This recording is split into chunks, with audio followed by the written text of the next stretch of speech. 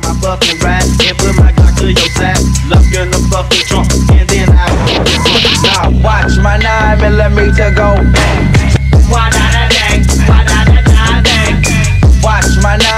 dang?